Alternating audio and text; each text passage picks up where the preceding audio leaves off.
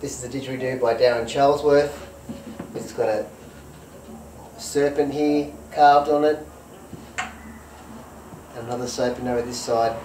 It's a beautiful playing didgeridoo.